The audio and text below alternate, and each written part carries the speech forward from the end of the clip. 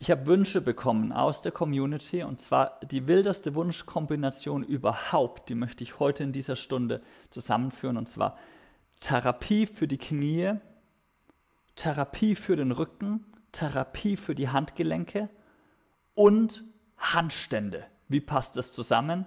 Ja, zunächst denke ich gar nicht, aber da ist eine Verbindung zwischen diesen Wünschen. Deswegen kam das jetzt auch irgendwie so, dass ich gedacht habe, ah, das mache ich jetzt in einer Stunde. Und für alle, die denken, oh, das wird jetzt eine wilde Stunde, es ist viel Therapie dabei, es ist ja eine Yoga-Doc-Stunde, die aber einen Bezug hat auf, wie bereite ich mich auf den Handstand vor. Und die Therapie umfasst eben unter anderem Knie, Rücken, Handgelenke. Und dann machen wir ein paar spielerische Techniken für den Handstand, da es eine Yoga-Doc-Stunde ist, sind diese spielerisch-akrobatischen Aspekte durchaus gemäßigt, sodass ich glaube, dass du das machen kannst. Und wenn du merkst, oh, das ist jetzt doch zu wild, dann sind es fünf Minuten, wo wir da so ein bisschen an diesen Techniken herumspielen. Dann kannst du die fünf Minuten auch einfach zugucken und Spaß haben, wie, wie ich da Übungen eben vormache. Wenn du mich nicht kennst, mein Name ist Dr. Ronald Steiner, ich bin der Begründer der Ei-Methode. Ich stehe für traditionellen Ashtanga-Yoga und innovativen Therapeutik-Yoga und einen Bezug zu einer lebendigen Philosophie. Und wenn du mir eine Freude machen willst, gib dem Video einen Thumbs up, klick auch gleich auf Subscribe. Und meine Freude an dich, ich lade dich ein in die Eye-Community. 14 Tage kostenlos, unverbindlich. Sei dabei in der enthusiastischsten Yoga-Community im gesamten Universum. Und nach den 14 Tagen entscheidest du, welchen Beitrag du leistest für die ganze Community, für 25 Live-Stunden pro Woche, an die 1000 aufgezeichnete Yoga-Stunden, solche Inhalte wie hier On-Demand-Stunden, wo du sagst, ah cool, die kann ich ja auch frei besuchen. Ja, klar, kannst du die frei besuchen, aber du kannst doch was dazu beitragen. Das ist ja die Idee einer Community. Ja, du nutzt, was du möchtest, du trägst bei, was du möchtest, was du kannst. Wir schlagen vor für den Online-Bereich, also die Live-Stunden, die On-Demand-Stunden, schlagen wir 49 Euro pro Monat vor. Wenn du sagst, ah, ich will eigentlich nur mal hin und wieder mal ein Video mitüben, kannst du auch weniger beitragen. Ja, oder wenn du sagst, äh, ja, Finanzen sind nicht mein Thema, gerne mehr, wie du eben selbst willst, aber 49 ist jetzt so unser, unser Vorschlag. Das haben sich manche gewünscht. Sag doch da ein bisschen mehr einen Anhaltspunkt. Deswegen sage ich den. Und jetzt stell dich ganz ein auf diese Yoga-Praxis. Schließ die Augen, lass den Tag hinter dir. Eine therapeutische, ganz sanft beginnende Praxis mit spielerischen Komponenten. Gib die Hände vom Herzen zusammen. Und wenn du das Mantra kennst, rezitier gleich mit. Om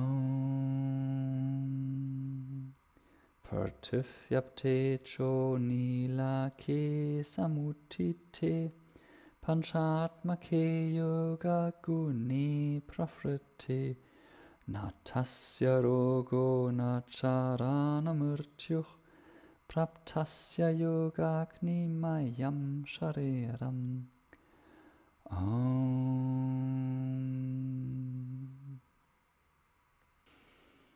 Nimm dann gleich dein Faszienköpfchen, kleines oder großes, oder die Finger, wenn du keines hast.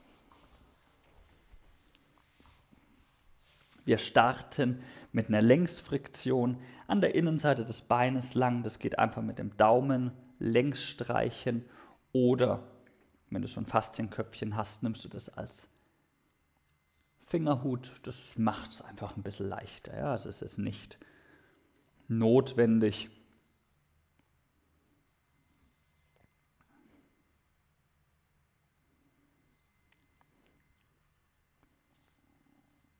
Dann gehen wir hier am Knie lang und zwar ziehen wir jetzt den Unterdruck übers Knie.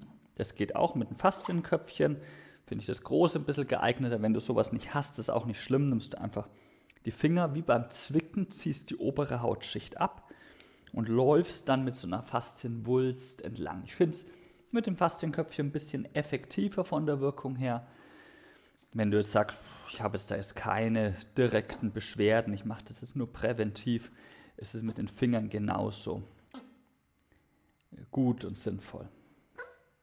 Wenn du da wirklich jetzt sagst, oh, ich habe Meniskusbeschwerden oder so, zum Glück endlich macht Ronald hier eine Übung dafür, dann finde ich, lohnt sich schon mit so einem Faszienköpfchen. Ich mache das mit, mit Öl auch immer daheim in der Dusche.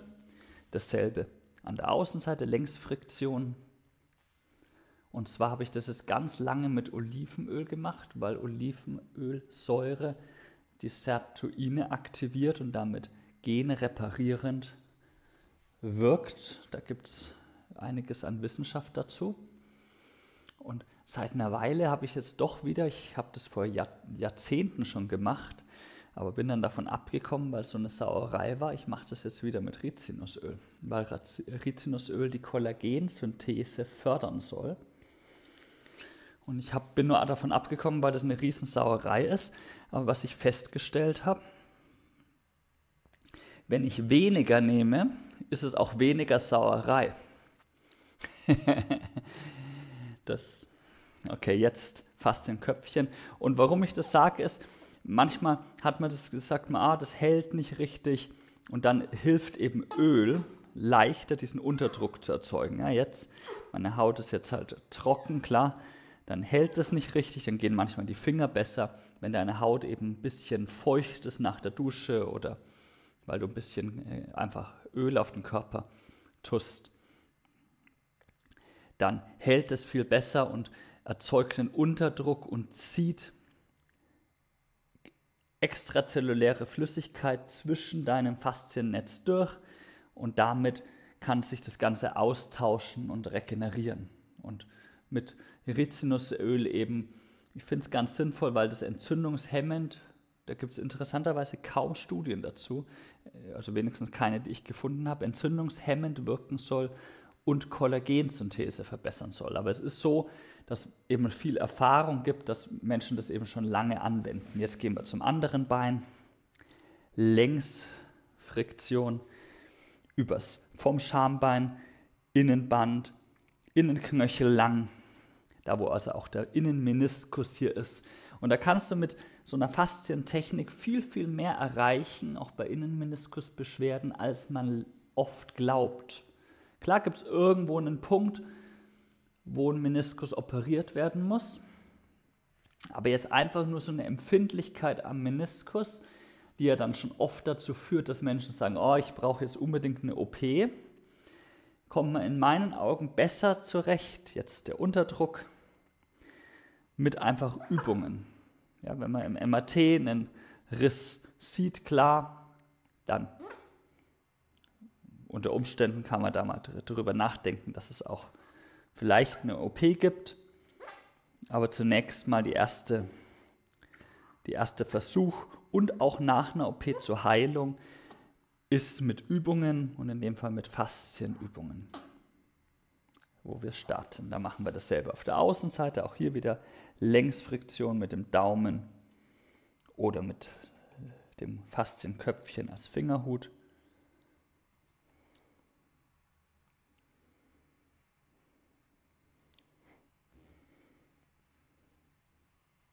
Dann der Unterdruck übers Außenband über den Außenkniebereich. Die meisten Kniebeschwerden und auch Meniskusverletzungen sind auf der Innenseite, also am Innenmeniskus und am, im Yoga-Kontext auch im Innenband. Aber auch absolut gesehen am Innenband, Innenmeniskus, da ist der meiste Belastung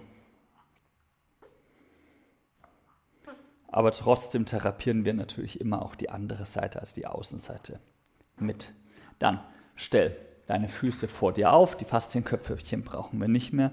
Wisch mit den Knien innen und außen und taste mit der Hand den Gelenkspalt. Und das zusätzliche Tasten des Gelenkspaltes hat nochmal einen Effekt, weil du dann wirklich spüren kannst, wie der Meniskus sich im Gelenk bewegt. Wichtig für die Übung ist, das Knie muss 90 Grad gebeugt sein, sonst kann es nämlich nicht rotieren.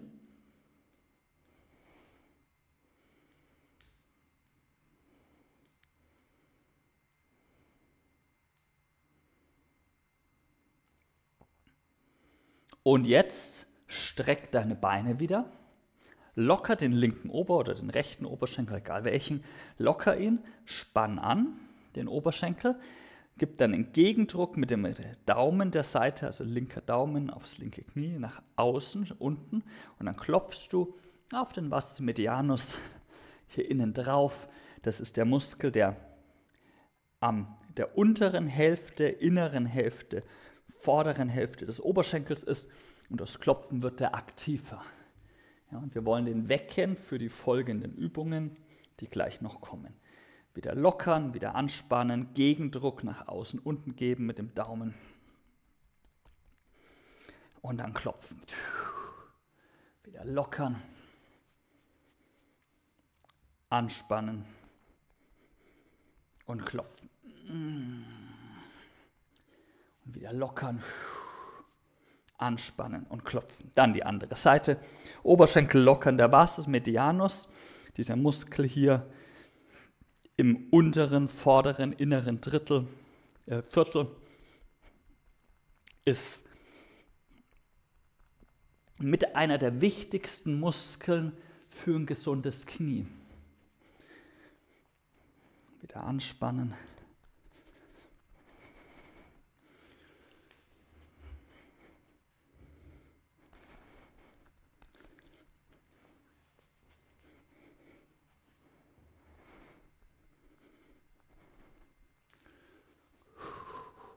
Und dann roll deine Yogamatte.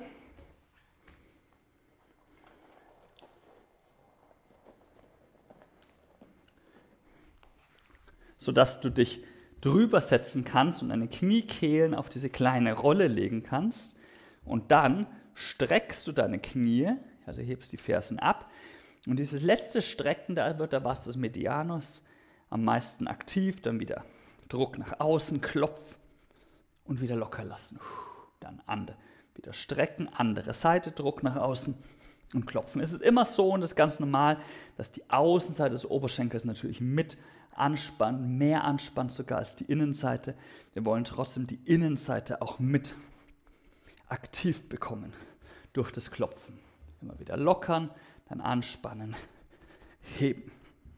Dann streck deine Beine wieder. Geh in den Vierfüßlerstand. Wir rotieren jetzt das Knie. Wenn dein Handgelenk das nicht mag, geh einfach auf die Ellenbogen, das geht auf den Ellenbogen genauso.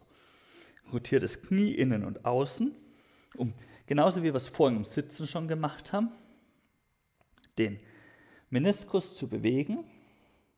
Jetzt aber lass die Knie schweben und dann spürst du den Vastus medianus, den wir vorhin geklopft haben, hier besonders aktiv weil der mit am Drehen verantwortlich ist. Dann Füße neutral, streck die Beine und dann dreh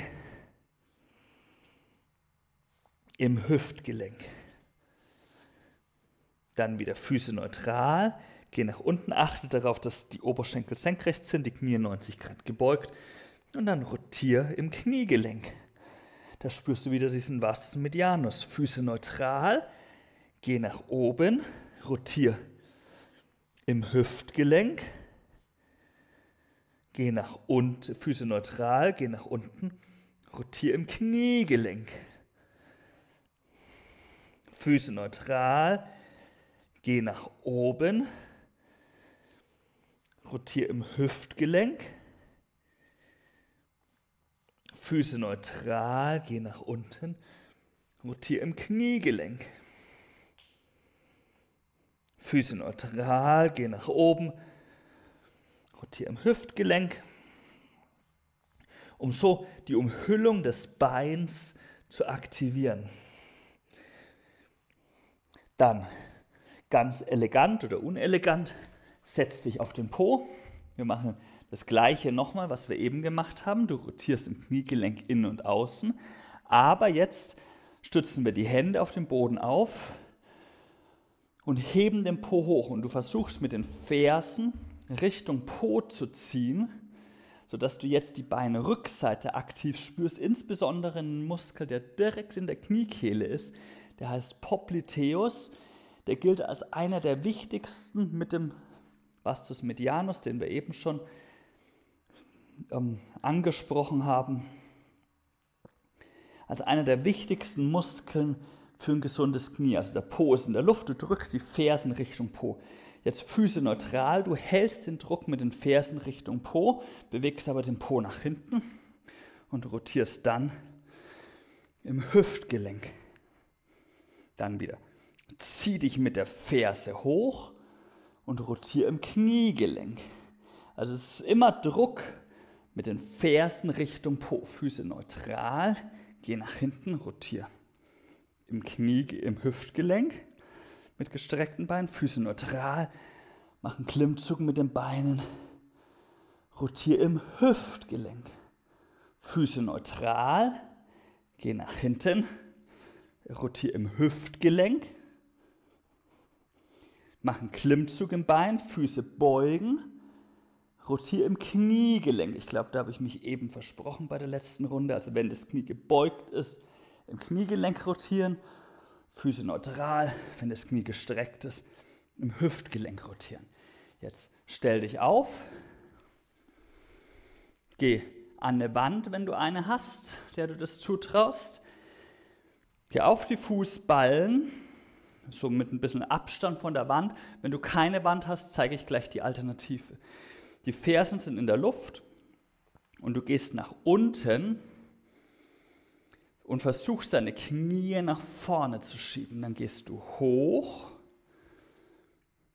und gehst wieder runter.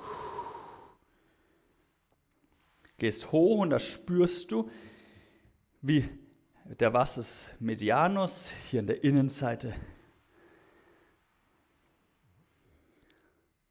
des Oberschenkels aktiv wird.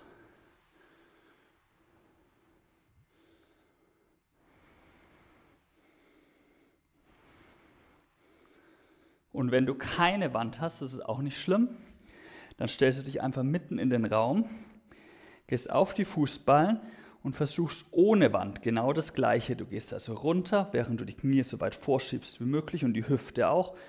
Und gehst wieder hoch, gehst wieder runter und wieder hoch. Gehst wieder runter und wieder hoch Gehst, du schiebst die Knie vor und die Hüfte gleich mit, runter und hoch. Und für manche denken sich schon, wo will ich raus? Wir gehen jetzt rückwärts, Shitali atmend, weil rückwärts gehen ist eine der besten Übungen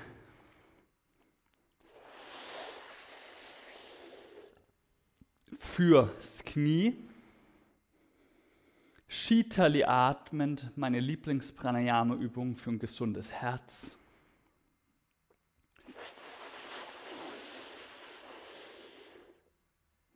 Und der dritte Teil der Übung, für alle, die die Übung neu ist, ich erkläre im Laufe immer noch ein bisschen was.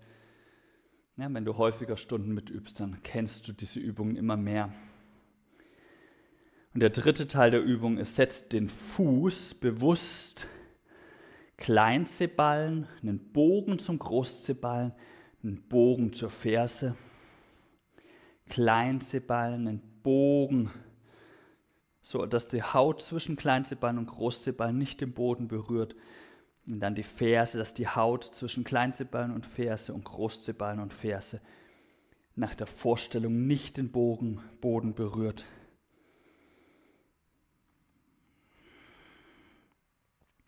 Beim Rückwärtsgehen achte darauf, dass du dich so richtig rausdrückst aus den Beinen, die Oberschenkelvorderseite nutzt.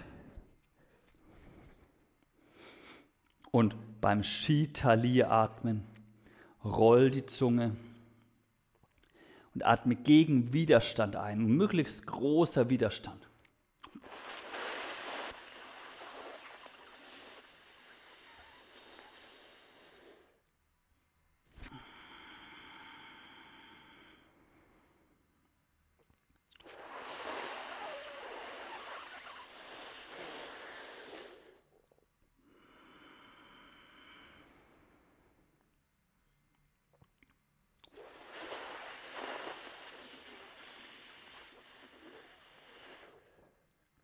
Shitali, dieses Atmen gegen Widerstand, also Inspiratorik Resistance Training, wie es in der Wissenschaft heißt, verbessert die Herzratenvariabilität.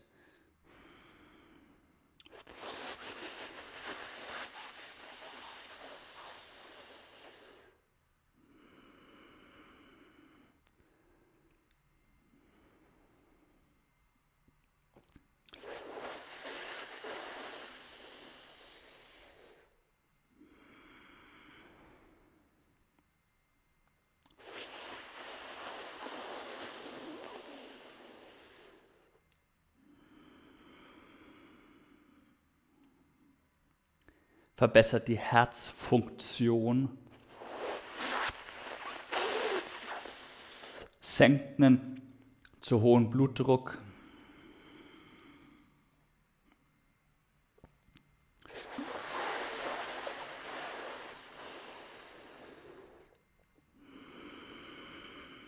Und senkt eine zu hohe Herzfrequenz. Ist damit eine der wichtigsten Übungen überhaupt für die Gesundheit. Das ist was, was ich jeden Tag versuche zu machen, rückwärts gehen, bewusst die Füße zu nutzen für den Aufbau des Fußgewölbes. Shitali atmend.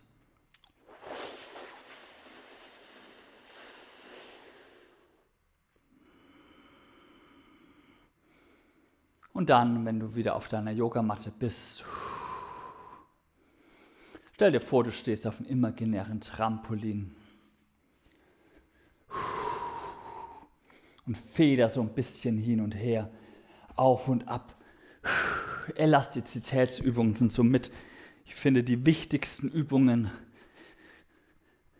die, ähm, oder die meist vergessenen wichtigen Übungen, weil die eben auch unseren Körper vor Verletzung schützen. Du kannst helikal schwingen von Seite zu Seite.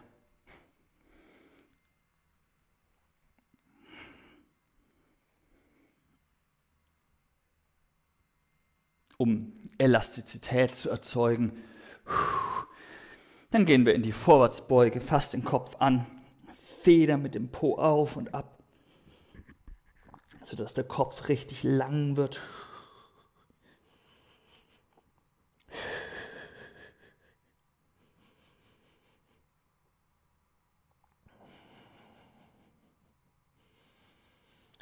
Wichtig bei der Übung ist, die Rippen berühren die Oberschenkel, der Po federt hoch und runter, sodass du spürst, dass die Wirbelsäule durch das Federn in die Länge gezogen wird. Also in die Länge federt. Dann geh in die Hocke hinein. Wenn wir jetzt zum Thema Handstand mehr und mehr eintauchen im Laufe der Yogastunde, Handstand braucht, und deswegen ist die, die Wunschliste, die ich für die heutige Stunde einbaue. Knie, Handgelenke, Rücken, gar nicht so abwegig. Weil um für Handstände brauchen wir eine gesunde und flexible Hüfte. Wir brauchen einen gesunden und vor allem auch starken Rücken. Wir brauchen gesunde, flexible und starke Schultern. Und wir brauchen gesunde und flexible und starke Handgelenke. Ja, das heißt, die Wünsche, die heute waren, Handgelenk, Rücken, das sind ja schon zwei von vier Dingen, die beim Handstand wichtig sind. Und wenn du mich fragst, und äh, vielleicht erstmal hier bei der Übung, was wir machen, wir hocken einfach, ganz simpel hocken, wie der Neandertaler oder der Prokonsul auch gehockt ist. Und wenn du nicht hocken kannst, das ist auch nicht schlimm, dann setz einfach den Po auf den Boden ab, dann sitzt du.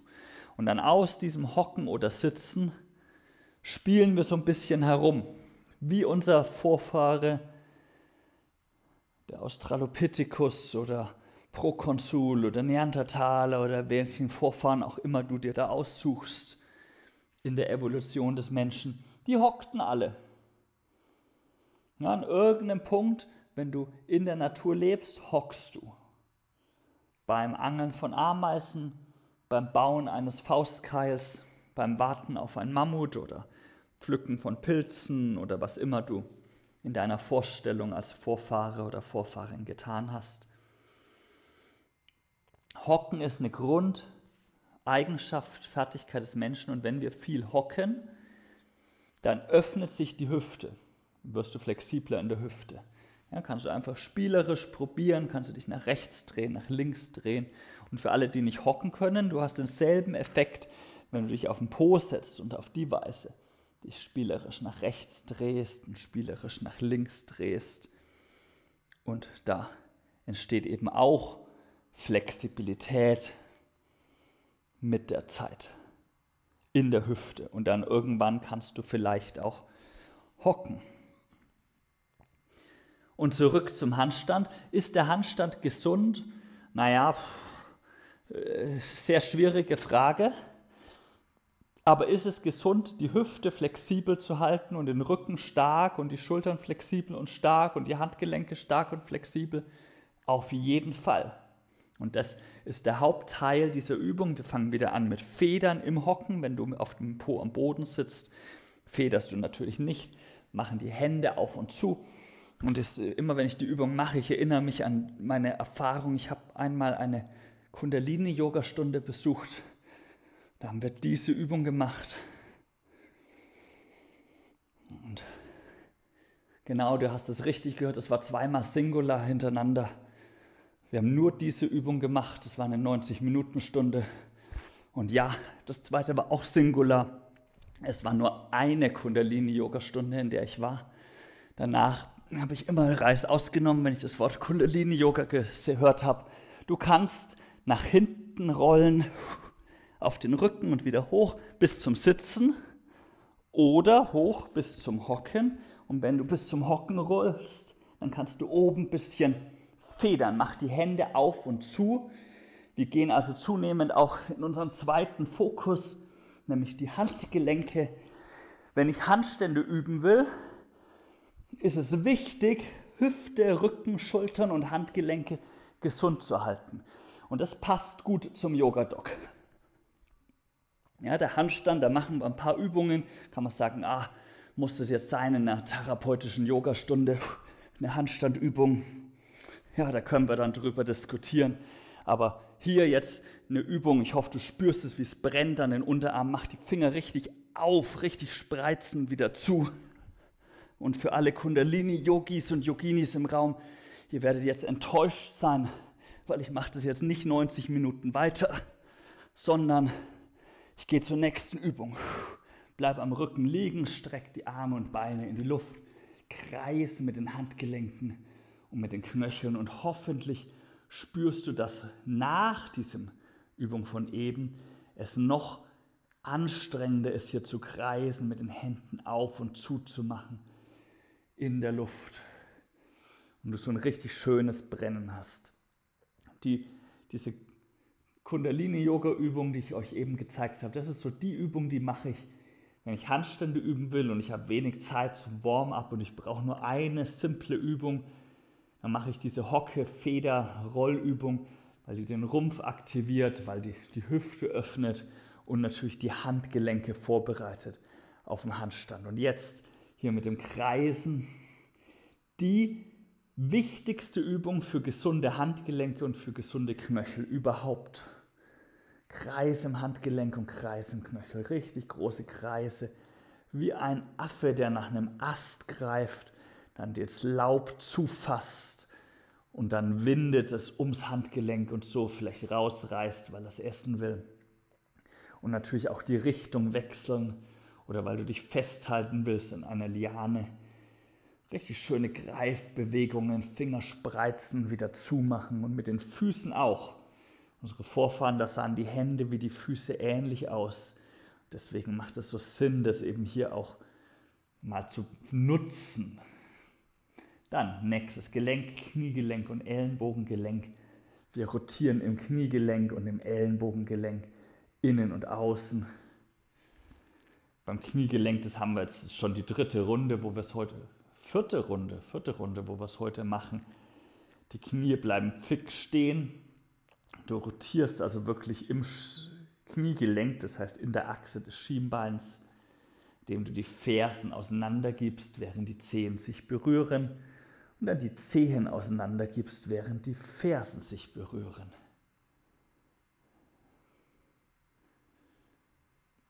Du legst den Oberarm ab und rotierst im Ellenbogengelenk. Das ist deutlich leichter motorisch. Da stellst du dir einfach vor, du hast eine Glühbirne in der Hand. Die schraubst du rein und raus. Dann nächstes Gelenk, Hüftgelenk, Schultergelenk. Du rotierst im Hüftgelenk und im Schultergelenk innen und außen.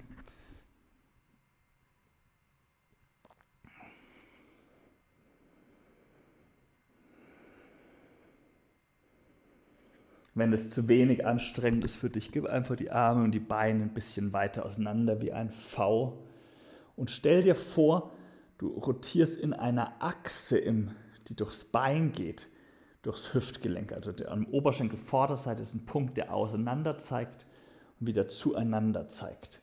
Und genau das gleiche auch im Schultergelenk. Dann gehen wir zum nächsten Gelenk, nämlich dem Becken und dem Schultergürtelanbindung. Achte darauf, dass dein Rücken neutral bleibt. Die Lendenwirbelsäule hat also ein kleines Hohlkreuz, deswegen lege ich die Hand darunter, um zu zeigen, dass es hat. Und dann verschiebst du eine Beckenhälfte in den Boden, während du die andere Beckenhälfte abhebst. Halte ich für die vielleicht die wichtigste Übung für einen gesunden Beckenboden, für ein gesundes Iliosakralgelenk, aber auch und da kommen wir auch wieder für, zu so einem Handstandthema für die Schulteranbindung.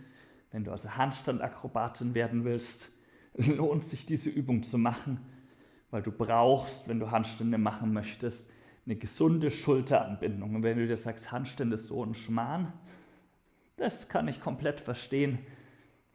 Für Gesundheit ist nämlich ein Handstand völlig unnötig und für die Erleuchtung auch.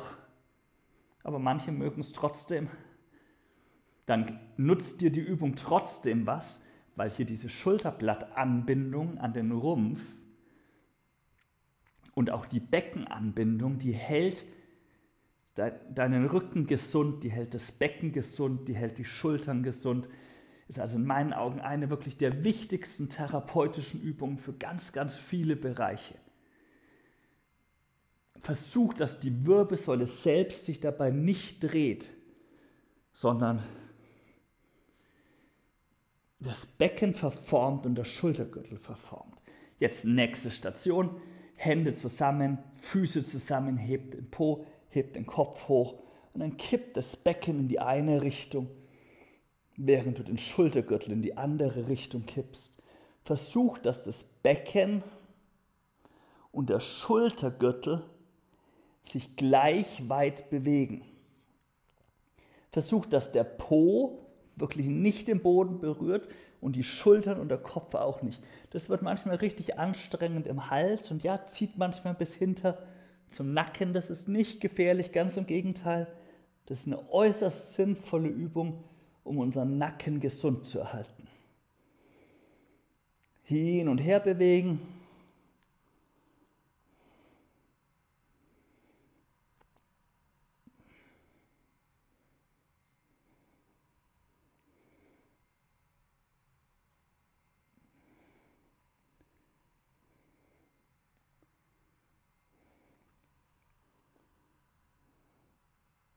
Dann breite die Arme aus wie ein T.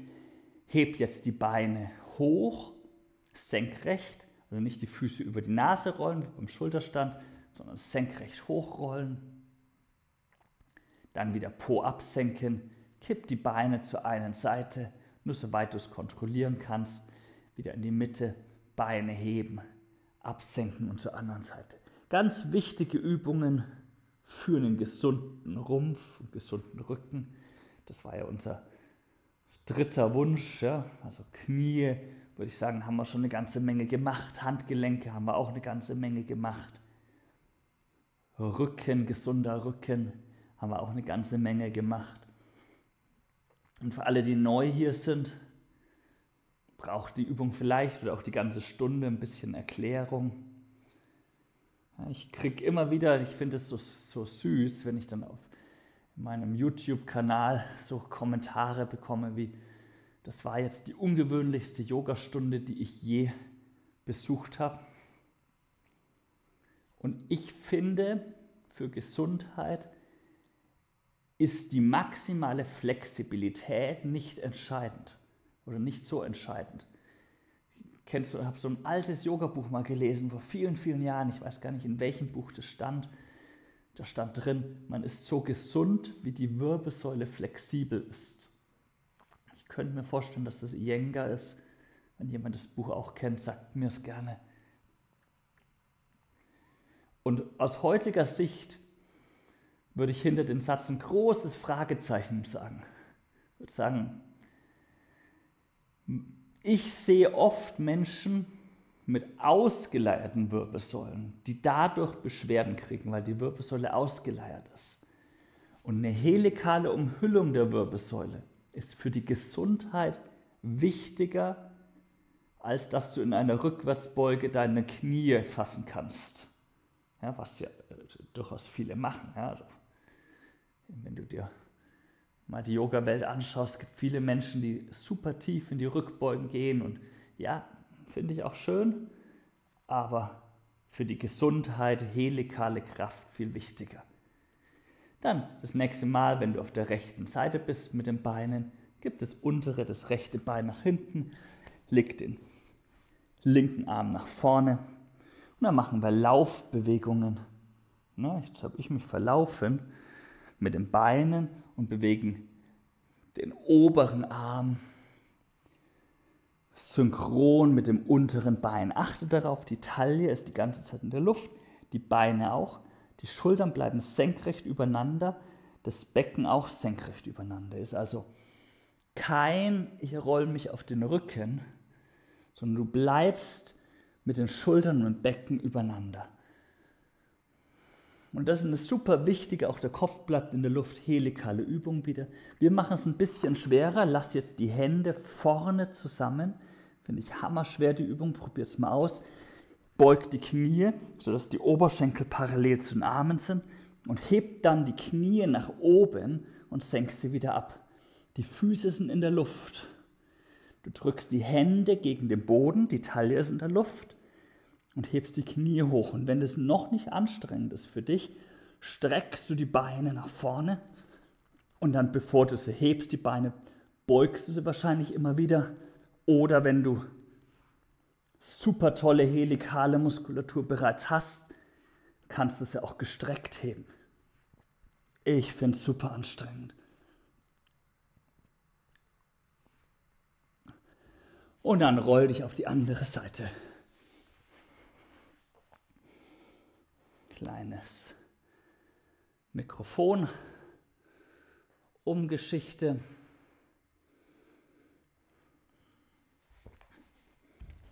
Auch hier wieder Taille heben, Hände zusammen, Beine heben. Erstmal Laufbewegung mit den Beinen.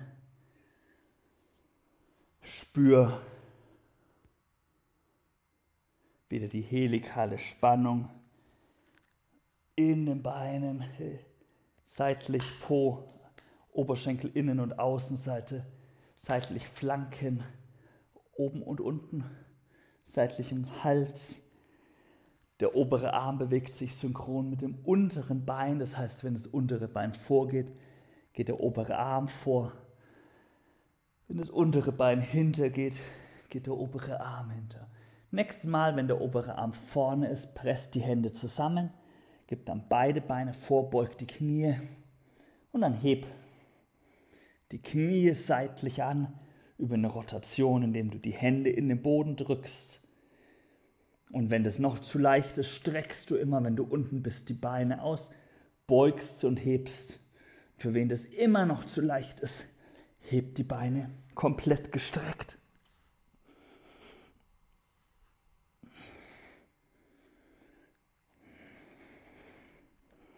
Und dann leg dich auf den Bauch. Das sind Übungen für einen gesunden Rücken, aber wieder auch haben wir dieses zweite Thema, was nützt uns für einen Handstand was? Auch für einen Handstand super wichtig. Breite die Arme aus, Stirn auf den Boden, Schultern bleiben stehen, die flottende, der flottende Skorpion hebt die Beine und kippt die Füße Richtung einer Hand. Versuch, dass die Schultern am Boden bleiben. Also sich nicht heben, sondern am Boden bleiben, mehr oder minder. Versuch, dass die Oberschenkel nie den Boden berühren. Also weder wenn du in der Mitte bist, noch wenn du auf der Seite bist. Die Füße berühren auch nie den Boden, weder in der Mitte noch in der Seite, sodass du die ganze Zeit eine helikale Spannung über den Rücken aufbaust. Das ist also eine wichtige Übung für einen gesunden Rücken. Und jetzt gehen wir noch eins weiter, nämlich zur flirtenden Kaulquappe. Fass die Hände zum Hinterkopf und mach die gleiche Übung mit deiner Schwanzflosse, also mit den Füßen, so als ob du die Füße Richtung Ellenbogen geben würdest, nur dass die Hände jetzt am Hinterkopf sind, Kopf gehoben, Schultern gehoben. Und ich finde, das ist nochmal ein bisschen interessanter. Dann komm in den Vierfüßlerstand. Wir hatten ja noch den Wunsch Handgelenke und Handstände. Sink ein zwischen den Schulterblättern, drück dich raus aus den Schulterblättern und dann heb deine Handwurzeln hoch, sodass du nur auf den Fingerwurzeln stehst. Stütz die Hände auf, sink ein zwischen den Schulterblättern, drück dich raus und heb die Handwurzeln hoch. Eigenes Tempo, einsinken, Schulterblätter rausdrücken, hochheben. Und wenn das gut geht, dann mach das Ganze in der schiefen Ebene. Wenn du Handstandakrobatin werden willst, brauchst du diese Kraft sowohl in der Schultergürtelanbindung als auch in den Handgelenken, Unterarmen. Wenn du sagst Handstande, boah, ist nicht interessant, aber ist eben auch eine therapeutische Übung, dann vielleicht eher mit den Knien auf dem Boden. Und wenn du Handstände wirklich ernsthaft lernen willst, die Übung ist essentiell. Wenn du jetzt merkst, du kriegst die Hände nicht weg vom Boden, dann ist mein Rat, dann ist es wahrscheinlich zu früh, hauptberuflich Handstandakrobatin zu werden. Ja, sondern dann würde ich empfehlen, stabilisier erstmal deinen Schultergürtel, deine Handgelenke, bevor du dich hauptberuflich in die Handstandakrobatik hineinbegibst. Dann schieb dich als nächstes in den Hund hinein und atme. Und ich hoffe, du spürst deinen ganzen Körper umhüllt, umringt mit helikalen Fasern. Tief ein und tief ausatmen in den Hund. Schieb die Schultern lang. Hm, drei. Vier. Und. Sapta einatmen. Komm mit kleinen Schritten in die Mitte der Yogamatte. Gewicht auf die Hände. Ashta Ausatmung. Verneig dich. Hände zu den Ellenbogen. Einatmung. Arme heben, berühr den Himmel über dir. Ausatmung, senk die Arme. Entspann den Nacken. Ekam Einatmung, heb die Arme, berühr den Himmel. Dreh Ausatmung, verneig dich, Hände zu den Ellenbogen. Kleine Mini-Pause, schau her zu mir. Wenn wir jetzt so anfangen, ein paar Handstandübungen zu machen, eine ganz einfache ist im Sonnengruß schon. Und den, die verpassen viele. Ich habe da immer wieder Gespräche, Menschen fragen mich, wie lerne ich den Handstand? Und die gleichen Menschen, wenn ich den Sonnengruß ansage, verpassen dann die Übung, die in jedem Sonnengruß, in jedem Vinyasa drin wäre, wenn wir sie wahrnehmen. Und zwar, wenn du genügend Abstand zur Matte hast, dann kannst du zum vorderen Mattenkante, dann kannst du die Finger leicht nach außen stellen und wirklich Gewicht auf die Hände geben mit langem, runden Rücken. Gewicht auf die Hände. Ja, und dann gehst du nach hinten in den Vierfüßlerstand oder in Chaturanga, je nachdem, was du willst. Einatmen und auch da bin ich noch der Meinung, wir sind hier noch im therapeutischen Bereich, wenn das jetzt nicht schmerzt, sondern sich gut anfühlt, was Yoga immer soll. Dann ist Gewicht auf die Hände zu bringen, die Schultern in den Boden zu stemmen, absolut gesund und therapeutisch. Vier. Wenn Schmerz, klar, dann ist es zu viel. Und fünf. Nächste Einatmen, komm in die Mitte der Yogamatte. Gewicht auf die Hände, wieder das Gleiche. Ich sehe immer viel zu viele, die laufen zu weit vor und verlieren das Gewicht auf die Hände. Das weiß selbst mein Sohn schon. Mit dem mache ich nämlich auch schon Handstandübungen. Frage ich ihn immer, was ist das Wichtigste beim Handstand? Sagt er, dass die Hände am Boden sind. Also drück die Hände in den Boden. Ausatmung, Gewicht auf die Füße, verneig dich. Einatmung, richte dich auf, berühre den Himmel über dir. Ausatmung. Ekam Einatmung, heb die Arme. Dwe, Ausatmung, verneig dich, Hände zu den Ellenbogen. Trini Einatmung, Gewicht. Auf die Hände, Chatwari, Ausatmung. Geh in den Vierfüßlerstand oder wenn du willst, Chaturanga. Pancha Einatmung, geh in die Rückbeuge. Shat, Ausatmung, schieb dich in den Hund. Tief atmen. Eins. Hm, zwei. Hm, drei. Hm, vier. Schieb die Schultern bewusst lang. Und fünf. Sapta einatmen. Komm in die Mitte der Yogamatte. Du kannst sogar so ein bisschen springen. Aber wichtig ist, das Gewicht auf den Händen soll mehr werden. Und dann ausatmen, Gewicht auf die Füße, verneig dich. Und bevor wir weitergehen, hock dich kurz ab, kleine Mikropause. Wir machen jetzt unser erstes echtes Handstandspielchen. Das heißt, da, wenn du sagst, okay, ich bin jetzt, mir geht es wirklich nur um Gesundheit und der akrobatische Aspekt interessiert mich nicht, kannst du mal rumprobieren, ausprobieren, das schadet nicht. Aber das ist jetzt für die Gesundheit, denke ich, bringt das jetzt nichts. Das hilft uns aber beim Handstand sehr viel. Die Übung heißt der Schlammspringer.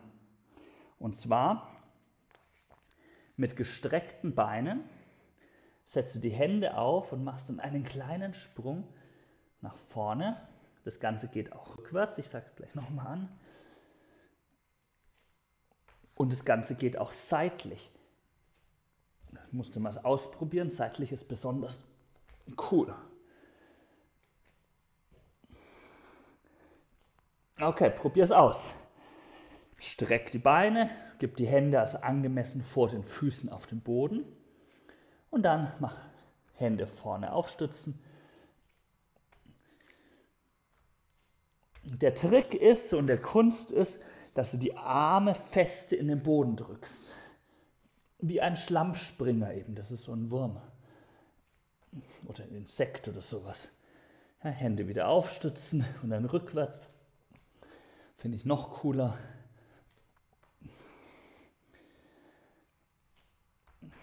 Und dann seitlich.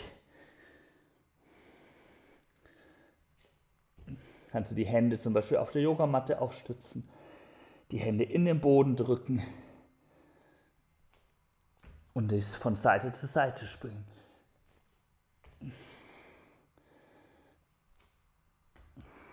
Dann hock dich wieder hin. Nächste Übung. Der flirtende Schlammspringer. Der flirtende Schlammspringer, der macht es genauso, will es aber besonders elegant machen. Und deswegen schaut es so aus. Also wenn das jetzt eben anstrengend war für dich, machst du kleine Pause mit Hocken, dann kannst du es einfach das gleiche nochmal machen. Wenn du sagst, naja, das war eher leicht, kann die nächste Übung so ausschauen. Du gibst Gewicht auf die Hände und du willst mit den Füßen die Unterarme antippen, bevor du sie wieder absetzt, in alle Richtungen. Das geht vorwärts.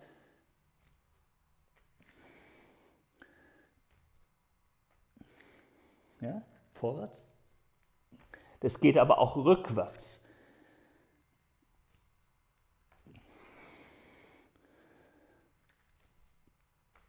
Und es geht natürlich auch seitlich.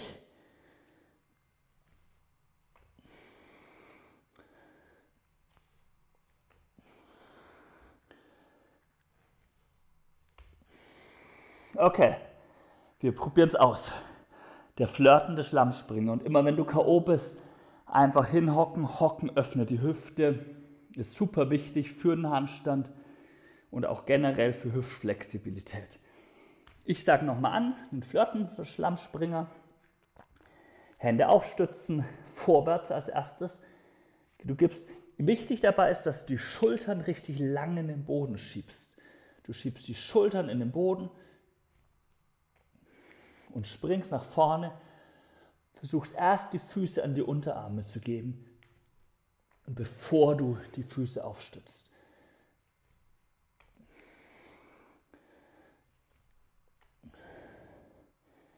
Und das Ganze geht auch rückwärts, wenn du gerade noch vorwärts unterwegs bist. Und wenn du K.O. bist, einfach hinhocken. Rückwärts finde ich es besonders effektiv, weil du da lernst, richtig reinzudrücken mit den Händen und Schultern in den Boden. Und was halt wichtig ist hier, das darf nicht wehtun in den Handgelenken oder irgendwo sonst. Wenn es wehtut, ist es nicht die richtige Übung, dann haben wir ganz viele Übungen gemacht, therapeutisch die Handgelenke, Schultern, Rumpf, Hüften, Knie vorzubereiten. Jetzt seitlich.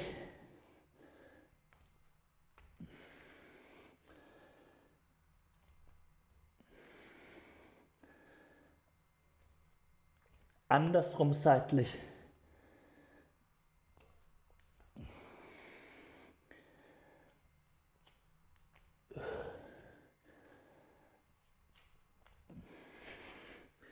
Und dann kommen wir wieder in die Hocke. Nächste Übung, und das ist auch schon die letzte Handstandübung für heute. Auch so eine relativ simple Übung. Und zwar der Affe, der Schimpanse. Der Unterschied zum Schlammspringer ist, wir starten aus der tiefen Hocke. Ich mache es erst vor, du kannst zugucken, dann sage ich es nochmal an und wir machen es gemeinsam. Oder wer die Übung kennt, Klar, kann mitmachen in der tiefen Hocke. Ich stütze die Hände vor mir auf. Ich mache dann einen kleinen Sprung. Und ich gehe wieder in die tiefe Hocke. Vorwärts, rückwärts geht es auch.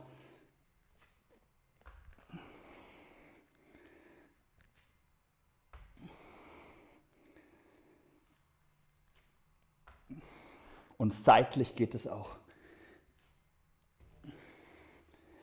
beim Affen immer wieder wichtig, in die tiefe Hocke zu gehen. Mein Sohn würde jetzt sagen, Papa, das Wichtigste fehlt. Okay. Ja, am Kopf kratzen und dabei Affengeräusche machen.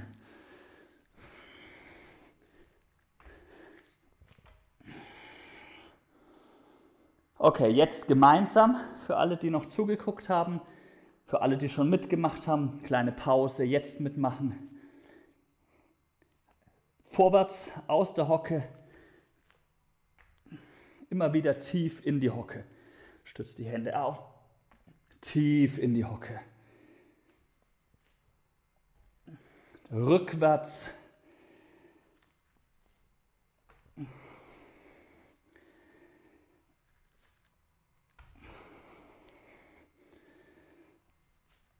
Seitlich.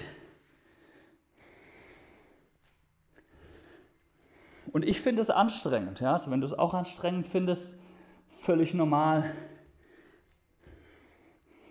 Denken wir immer nicht, man sagt, ah, man hockt und macht so ein bisschen Hüpfe. Andersrum seitlich. Und wenn du das nächste Mal im Hund bist, äh, in der Mitte der Matte bist, geh in den Hund. Für den Ausklang dieser Praxis, wo wir Flexibilität nochmal entwickeln wollen. Vier. Und fünf mit der Anjanasen-Sequenz. Rechten Fuß nach vorne, linkes Knie aufstützen. Rechte Hand aufs rechte Knie. Richte dich auf in eine schöne Dehnung. Linken Arm nach oben, rechten Arm nach unten. Und wenn du kannst und willst, gib die Hände hinter den Rücken zusammen. Natürlich gibt es wahnsinnig viele Handstandübungen. Aber für heute ist ja eine Yoga-Doc-Stunde, eine therapeutische Stunde. Soll das reichen? Vier, Und firm, flößt den Griff, Hände aufstützen, einatmen. Für Gesundheit ist nämlich vor allem die Balance wichtig. Ausatmung, Vierfüßlerstand, runder Rücken. Einatmung in die Rückbeuge. Ausatmung in den Hund. Die Balance zwischen verschiedenen Komponenten. Einatmung links vor, rechtes Knie aufstützen. Rechten Arm nach oben, linken Arm nach unten. Und dann, wenn du kannst, gib die Hände hinter dem Rücken zusammen. Neig den Kopf nach links Tief atmen. Zwei. Hm, drei. Hm, vier. Und fünf. Löst den Griff. Hände aufstützen. Einatmung, Po heben. Ausatmung, geh in den Vierfüßlerstand, runder Rücken. Einatmung, geh in die Rückbeuge, weitem Herzen. Ausatmung, schieb dich in die Position des Hundes. Noch einmal gleiche Übung, nochmal rechten Fuß vor, linkes Knie aufstützen. Du kannst hier bleiben, dieselbe Variante nochmal machen. Wenn du aber möchtest, leg dein rechtes Schienbein parallel zum kurzen Mattenende. Achte darauf, dass der rechte Po am Boden ist. Ja, also wenn du die Variante machst, empfehle ich dringend, der rechte Po soll am Boden sein. Auch dann, wenn du schief sitzt. Also selbst wenn die rechte Schulter am Boden ist, ist das okay. Und dann richtest du dich so weit auf, bis du im rechten Po eine Dehnung spürst. Und vielleicht kannst du das linke Bein beugen und den linken Fuß heranziehen. Zum linken Po. Das ist eine Option. Das macht dann Sinn, wenn du eben halbwegs aufrecht sitzt wobei es auch sehr schräg auch funktioniert. Also wichtig ist aber dabei, dass dein rechter Po am Boden ist. Vier und fünf. Löst den Griff, stützt die Hände auf, Einatmung Po heben, Ausatmung Vierfüßlerstand oder wenn du möchtest gerne Chaturanga. Einatmung in die Rückbeuge, Ausatmung in den Hund. Linken Fuß nach vorne, rechtes Knie aufstützen. Gerne hier bleiben. Als Option gibst du das linke Schienbein parallel zum kurzen Ende der Yogamatte. Wichtig ist, der linke Po ist aufgestützt. Du richtest dich dann seitlich wieder auf, so weit wie du das kannst. Bis eine Dehnung im linken Po spürst. Wenn du kannst und willst, nimmst du den rechten Fuß und ziehst den ran Richtung Po. Die Finger sollen in die Richtung der Zehe zeigen, wie bei Beheg Asana in der zweiten Serie vom Ashtanga Yoga. Dann hast du auch eine schöne Dehnung im rechten Oberschenkel. Tief ein- und ausatmen. Und drei. Hm, vier. Hm, fünf. Löst den Griff. Stützt die Hände auf, einatmen, Po heben.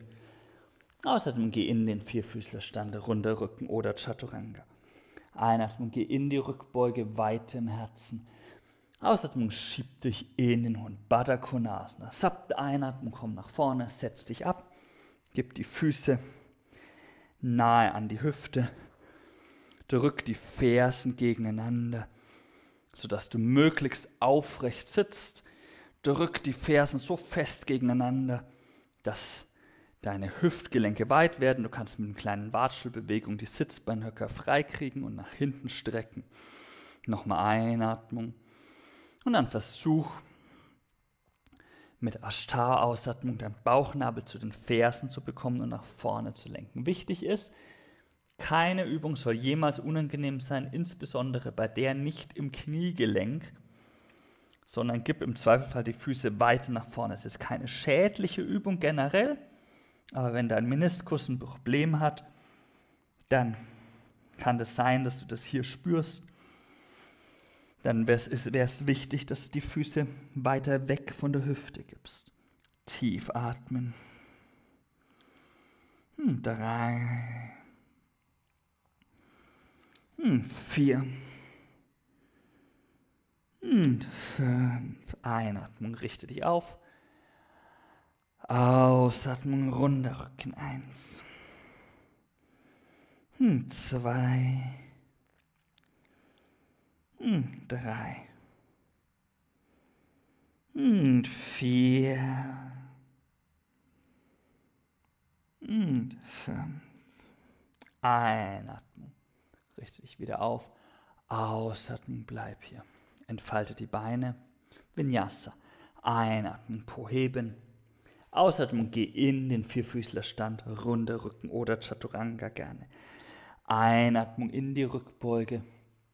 Ausatmung, schieb dich in den Hund. Urdhva Dhanurasana. Sapta Einatmung, komm in die Mitte der Yogamatte. Setz dich ab. Wir machen hier ein kleines Spielchen. Du stützt die Füße vor dir auf fasst mit der rechten Hand zum, rechten, zum linken Knie, machst dann einen halbkreisförmigen Bogen mit der rechten Hand, bis der rechte Fuß, der rechte Po, die rechte Hand auf einer Linie sind. Rotierst die rechte Hand, die Finger weiter, dass die nach innen zeigen zum Po. Und dann folgst du mit dem linken Arm der Bewegung und hebst dabei die Hüfte hoch so weit wie du kannst und schiebst die rechte Schulter in den Boden, um eine schöne Rückbeuge zu erzeugen. Tief atmen. Muss jetzt nicht wahnsinnig tief sein, einfach nur so, wie es sich jetzt für dich gut anfühlt. Ausatmung wieder nach vorne, absetzen. Da ist die linke Hand gleich am rechten Knie. Machst du einen Bogen halbkreisförmig nach links. Finger zeigen. Über den Halbkreis zum linken Po folgst mit dem rechten Arm und hebst die Hüfte hoch. Und so weit, wie das eben für dich angenehm ist. Und dann wieder nach unten. Mit der Zeit kann man sogar ganz außen rum gehen.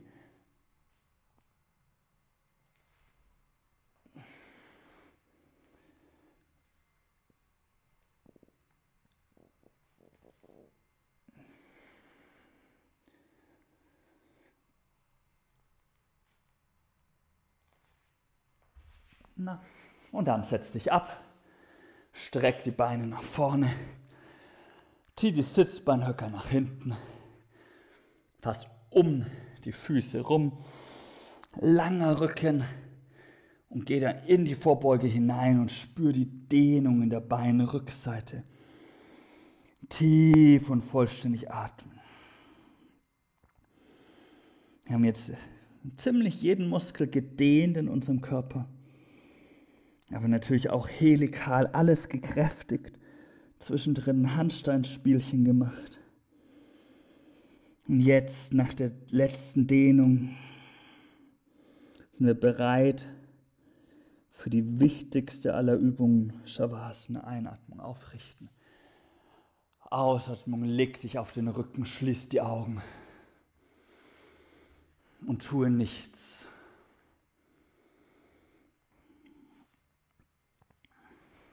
Und wenn die Rückenlage nicht das Richtige ist für dich, kannst du auch in einer anderen Körperlage entspannen,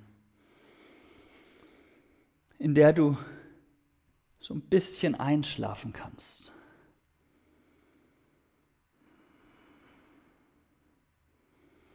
Und ich hoffe, dir geht so, wie es mir geht nach dieser Stunde. Ich fühle mich wie nach einem Tag am Spielplatz, als mein siebenjähriges Selbst auf einem großen Abenteuerspielplatz, wo ich jede Rutsche gerutscht bin und jedes Kletterseil geklettert bin und über jeden Balken drüber balanciert bin. Und mich in jeder, selbst in jeder Schlammpfütze gesuhlt habe.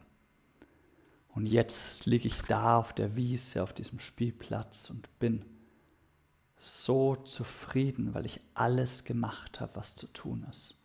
Und genau diese Zufriedenheit spüre ich jetzt nach der Stunde. Ich habe wirklich alles gemacht. Ich habe, es war anstrengend an vielen Stellen. Ich, ich, helikal anstrengend, aber auch in die Sagittalrichtung anstrengend. Ich habe gedehnt, ich habe gespielt. Und jetzt wird es von mir eine Minute der Stille geben, in der du einfach loslassen kannst, dich vom Boden tragen lassen kannst. In dieser Vorstellung, du bist dein siebenjähriges Selbst, liegst am Rücken auf der Wiese im Spielplatz, bist so zufrieden, weil du alles getan hast. Es gibt nichts mehr zu tun.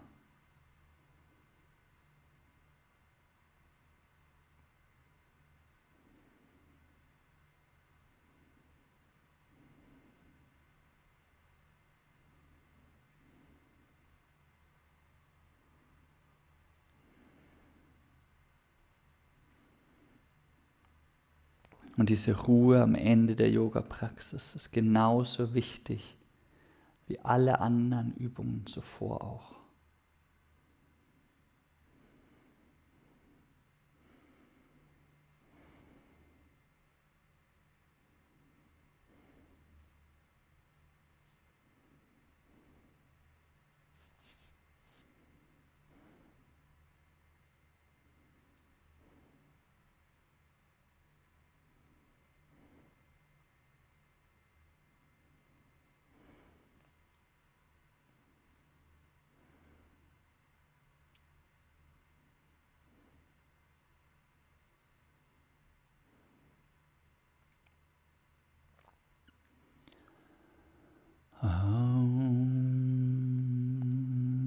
Komm dann wieder langsam in Bewegung. Räkel und streck dich und dreh dich im Sitzen zu mir. Schließ die Augen.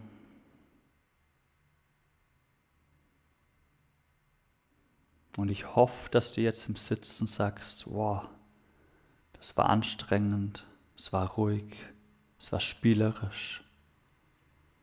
Und ich habe meine Mitte gefunden. Gib so die Hände vom Herzen zusammen und rezitiere mit mir zum Abschluss, wenn du das Mantra kennst, gleich gemeinsam. Om Yo Devo Agnau Yo Apsu Yo Vishuvam Bhuvanam Avivesha Ya Oshadishu Yavanaspatishu Tasmai Devaya Namo Namah Om Shanti, Shanti, Shanti. Paramadeva Namah, Paramadeshpyo Namah, Namaste. Ja, ich hoffe, du hattest genauso viel Spaß bei der Stunde wie ich. Würde mich freuen, wenn du, bevor du gehst, mir eine Nachricht schreibst, was du erlebt hast. Das ist der einzige Weg, wie ich bei einer On-Demand-Stunde von dir erfahren kann, wie dein Yoga-Weg ist, was dich interessiert. War das die richtige Mischung? Klar, Yoga-Doc soll therapeutisch sein, aber therapeutisches Yoga ist kein Schon-Yoga. Deswegen auch diese spielerische Komponente, die da in meinen Augen total Platz hat, die ein bisschen akrobatisch werden darf. Und genau das sind wir heute gegangen. Bin ich einfach gespannt, was dich interessiert und natürlich auch, was du dir weiter von mir wünschst. Mehr Akrobatik, mehr therapeutisch, sanfter, anstrengender. Was passt für dich? Und wenn du es am Anfang nicht gemacht hast, gib dem Video einen Thumbs up, klick auf Subscribe und wir sehen uns in der iCommunity. Der Link in, meine Einla in die Einladung ist in der Beschreibung. Ich freue mich auf dich in der enthusiastischsten Yoga-Community im gesamten bekannten Universum. Und damit Namaste, einen wunderschönen Tag.